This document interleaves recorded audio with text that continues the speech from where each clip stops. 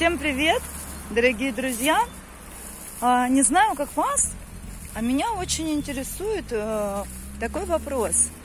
И хотела бы я его задать нашим уважаемым депутатам, депутатскому корпусу местного совета самоуправления, людям, которые представляют наши с вами интересы, интересы целого города, то есть 60 тысяч населения города, и наши интересы представляют 20 человек, которые решают все вопросы муниципального уровня.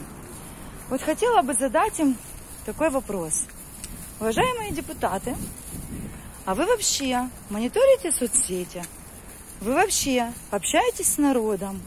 Когда последний раз вы устраивали встречи с избирателями? Когда вы выезжали на свои участки Напомню, что за каждым из вас закреплен участок. И спрашивали у людей, а как вы живете? А какие у вас нужды? Когда вы это делали?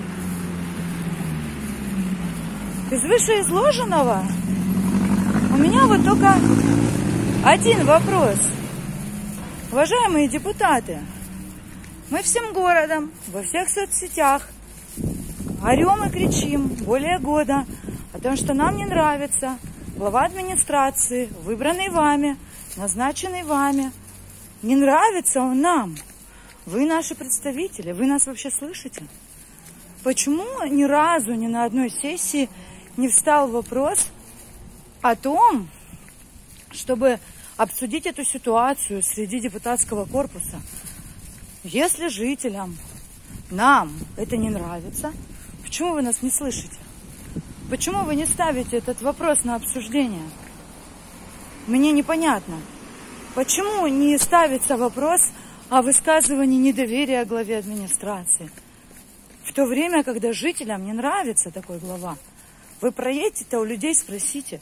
Вы опрос сделайте, посмотрите, мы делали опросы. Из десяти ноль высказали в защиту нашего руководства. Ноль.